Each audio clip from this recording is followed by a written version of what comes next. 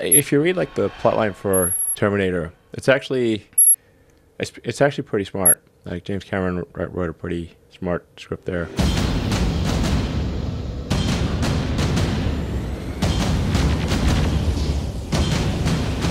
It's like, well, how did Cyberdyne Systems develop? Miles Bennett Dyson. He's the director of special projects at Cyberdyne Systems Corporation.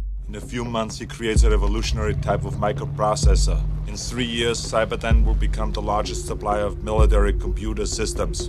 Uh, so its primary thing is to def defend against cyber attacks. This new computer virus is a tricky bastard.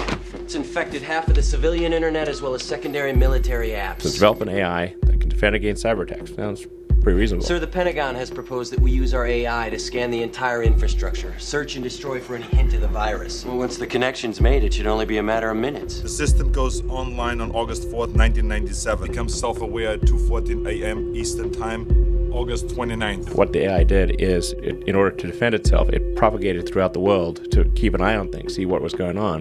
During which we put everything from satellites to missile silos under the control of a single computer system. The most intelligent system ever conceived. They didn't realize that it was cyber that it was Skynet that was propagating through all these systems. And they said, okay, uh, th there seems to be something propagating through all these systems. Skynet, you need to stop it. You need to end it. Skynet fully operational, processing at 60 teraflops a second.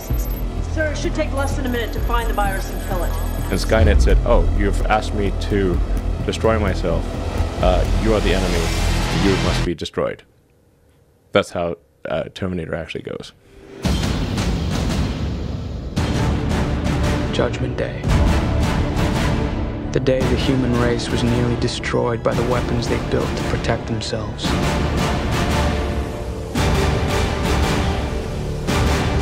Judgment Day is inevitable. Have you ever been shopping on something on Amazon and then you went to your Gmail and there's an ad for it?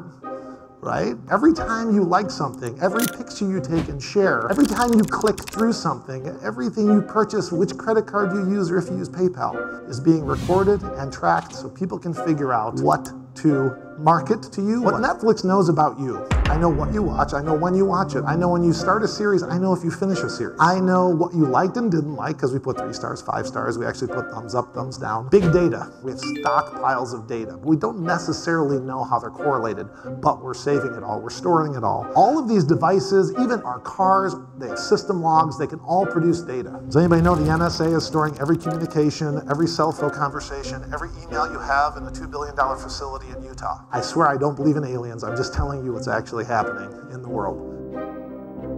Artificial intelligence is what I'm here to talk about. This is taking all of that data. Data is the fuel of machine learning. How computers learn about what they're doing, what they need to do next, how they should act, how they can win games. So if my choices are already being selected and filtered, the news I choose to read, the routes I choose to drive, the movies that are being chosen for me, if my decisions are being based on what I read and experience, Am I already living in an artificial intelligence world?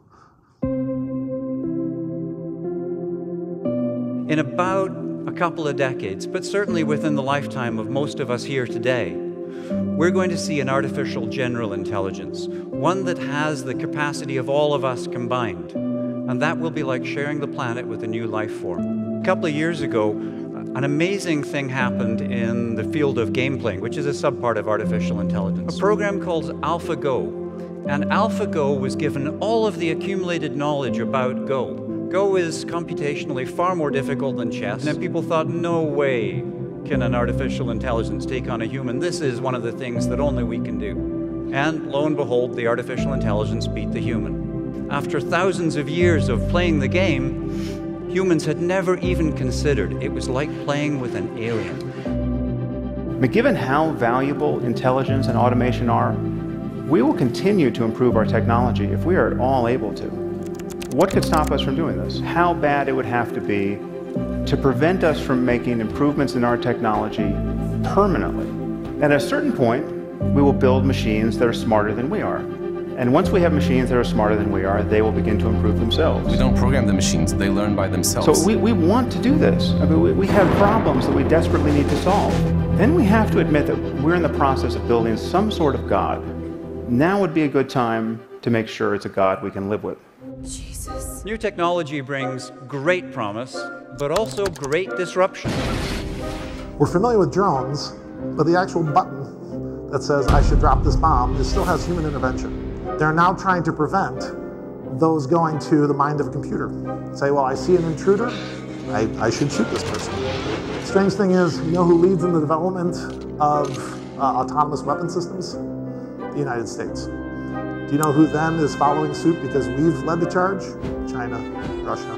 Language creation. So they had AI bots actually talk to each other and chat to each other. They started talking in their own language. They were still using English, but then they started to use their own manipulation of English to actually make it faster to talk to each other. And if we build machines that are more intelligent than we are, they will very likely explore the spectrum in ways that we can't imagine and exceed us in ways that we can't imagine. The AI train isn't going to stop at the human station. It's going barreling right through to a destination that we cannot even understand. What we don't get to do is choose not to have the technology. Once it's invented, it stays invented. You cannot put the genie back in the bottle. If intelligence is just a matter of information processing, and we continue to improve our machines, we will produce some form of superintelligence.